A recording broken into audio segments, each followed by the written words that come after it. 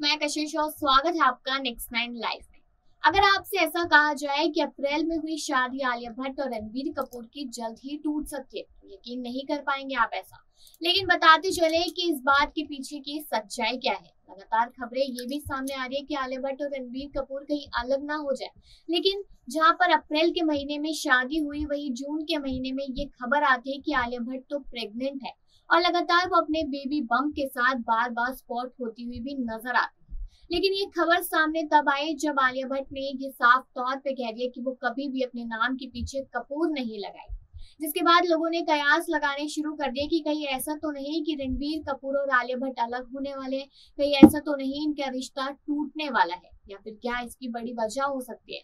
तो बताते चले आपको कि इसके पीछे की बड़ी वजह क्या है। यहाँ पर आलिया भट्ट ने साफ़ तौर पे कह दिया था कि मैं अपना नाम नहीं बदलूँगी कभी भी कब। जब मुझे फ़िल्म इंडस्ट्री में काम करना होगा, उसमें करियर को आगे बढ़ाना होगा, मैं कभी भी भट्ट को नहीं हटाऊँगी।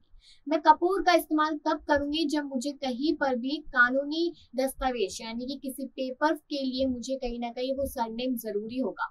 और उन्होंने ये बात भी साफ़ कह दी कि मेरा जो बेटा या बेटी होने वाले इन फ्यूचर में, मैं उसे कभी भी अपने परिवार से अलग नहीं करना चाहती तो उसे भट्ट का सरनेम भी दूँगी और कपूर का सरनेम भी दूँगी, ताकि वो हमेशा दोनों परिवार से मिला जुला महसूस करे। इस तरीके की बात उन्होंने कही। लेकिन कहीं ना कहीं जब पेपराजी ने उनसे सवाल कर डाले कि आप दो दो सरनेम कैसे इस्तेमाल कर सकती हो तो आलिया भट्ट ने कहा कि जब वो कपूर फैमिली में होगा और स्कूल में जाएगा कपूर का सरनेम यूज़ करेगा। जब वो भट्ट फैमिली में होगा तो भट्ट सरनेम इस्तेमाल करेगा। तो इस पर भी बहुत बड़ा क्वेश्चन मार्क बन गया कि आखिरकार ऐसा कैसे पॉसिबल है। तो आलिया भट्ट ने कहा कि ये मेरी ज़िंदगी है मुझे जिस तरीके से बितानी है मेरे बच्चे को जिस तरीके से बितानी है वो वैसे ही बिताएँगे। और आने वाले टाइम में कहीं ना कहीं जब मुझे आ, इंडिया से बाहर जाना होगा या फिर कोई भी ऐसा दस्तावेज़ बनवाना होगा तो मैं हमेशा कपूर सरनेम इस्तेमाल करूँगी भट्ट का नहीं करूँगी।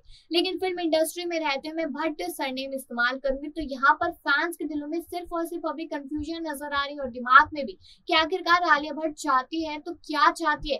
क्या रणबीर कपूर से अलग होना चाहती है या फिर सरनेम ही नहीं रखना चाहती? इन सारी बातों को लेकर लगातार एक क्वेश्चन मार्क बना हुआ है। तो मेरा सवाल आप लोगों से यही है कि आप लोग ये सोचते हैं कि आलिया भट्ट अगर कपूर का सरनेम इस्तेमाल करती है तो वो अपनी फैमिली में कहीं ना कहीं इजिली एडजस्ट हो सकती है। और अगर भट्ट का सरनेम यूज़ करती है तो आने वाले समय के लिए कपूर फैमिली के लिए दिक्कतें सामने आ सकती है। अपनी राय ज़रूर दीजिएगा और बाकी ऐसी खबरों के लिए देखते रहिए नेक्स्ट नाइन लाइव।